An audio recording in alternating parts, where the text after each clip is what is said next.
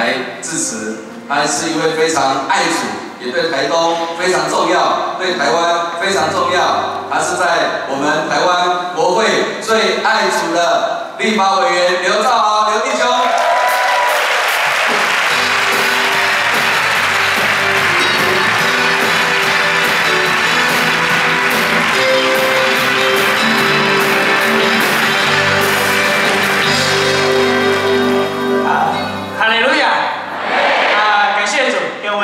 美好的清晨，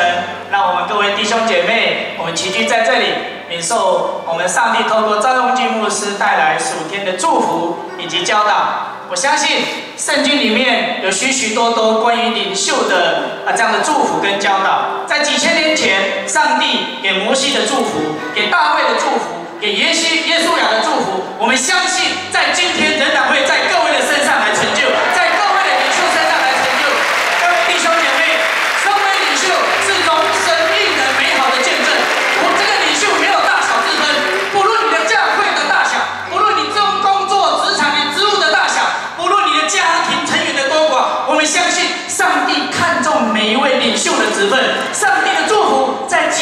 前在地球上来成就，今天依然要在台湾，在每一位弟兄姐妹身上成就。各位弟兄姐妹，我们常常思考，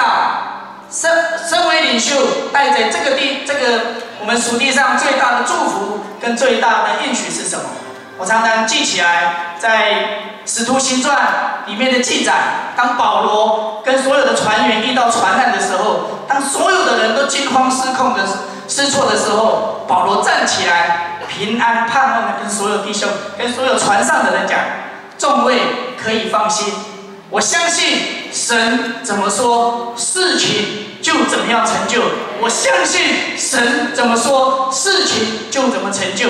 各位弟兄姐妹，这就是身为领袖，特别是在这个世代里面，我们身为领袖特别应该要去做的事情。无论外在的环境如何动荡的不安，无论人心如何的惶恐，我们期待每位弟兄姐妹，在你的职场上，在你的